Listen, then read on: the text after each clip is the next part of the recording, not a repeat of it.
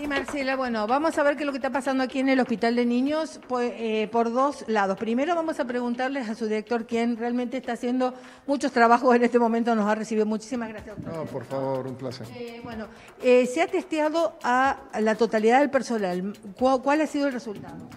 Está- estamos teniendo incidencia de la patología no vinculada a contagio dentro de la institución, sino a contagio externo, lo que hemos estado evidenciando a lo largo de la pandemia.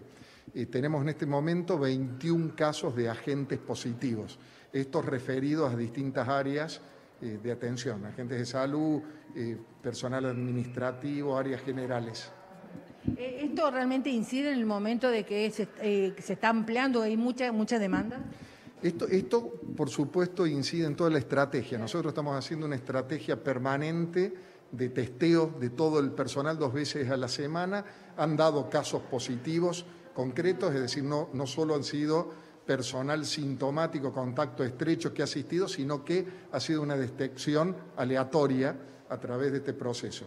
Eh, y, esto genera la incidencia de contactos estrechos en el grupo de- de personal que trabaja con ellos. Si bien se han maximizado todas las medidas, tanto distanciamiento, uso de barbijo, no utilización de espacios para eh, merienda, desayuno, etcétera, ¿no? Es decir, hemos Se ha vuelto, se ha vuelto atrás, como en bastante. Sí, sí, sí, sí. Se, está, se está volviendo a etapa inicial, ma- marzo de- del año pasado. En cuanto a, los, a, a las niñas y a los niños eh, que han llegado acá, ¿tienen más casos? ¿Cómo lo, está, cómo lo están cuantificando? Esta, esta- esta semana empezó la incidencia, teníamos eh, realmente semanas previas, por muchas semanas estuvo vacía la sala de internación.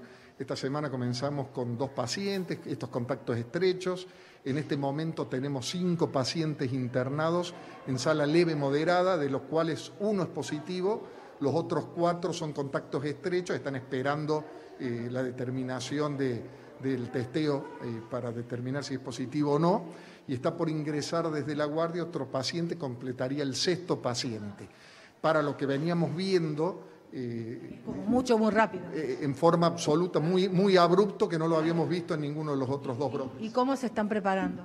Nosotros hemos aumentado obviamente todas las medidas, tenemos, esto lo referíamos antaño cuando eh, se planteaban versiones de inestabilidad de- del sistema, decíamos que eh, estamos preparados para seguir ampliando la asistencia en niños en el hospital, tenemos una sala dispuesta a tal fin que había sido tabicada para poder utilizarla como sala quirúrgica general, una parte de la misma, en este momento hemos destabicado, por lo tanto, se ha ampliado la capacidad a los 25 pacientes que se permite y podemos seguir ampliando en salas contiguas. Doctor, eh, ¿ustedes pre- eh, prevén de que va a haber muchas, muchos internados?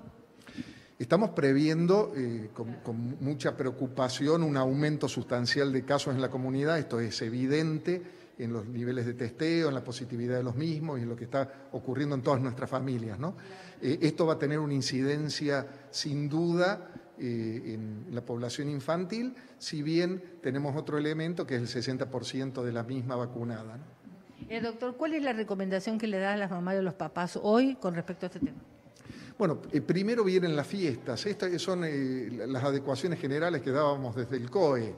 Eh, cuidarse profundamente para cuidar a los otros, para cuidar fundamentalmente a nuestros adultos mayores, a las personas que tienen enfermedades prevalentes, el distanciamiento social, el uso de barbijo en forma permanente, aprovechar reunirnos el grupo más pequeño posible para estas fiestas, aprovechando la temperatura, hacerlo al aire libre, tener el, el cuidado extremo, porque estamos encontrándonos con una variante del virus que es altamente transmisible.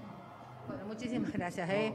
Bueno, evidentemente el doctor lo está diciendo, ¿no? Realmente se están preparando, creo que todos los nosocomios lo están haciendo porque es como muy rápido. En una semana nos ha chocado eh, la, cantidad de casos y evidentemente eh, hay que prepararse para cualquier eventualidad. Adelante ustedes.